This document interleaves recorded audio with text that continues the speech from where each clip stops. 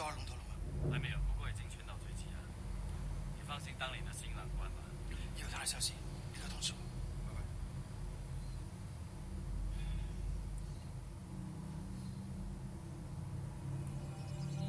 即使到了这里，还是放不下香港的仇恨。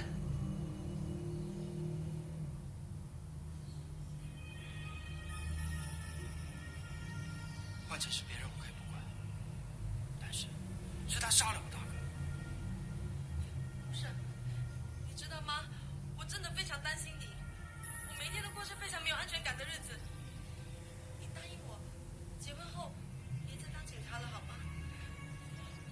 有一天，我们可以移民到欧洲，然后在沙滩边买一栋小房子，过着安安静静的日子，好吗？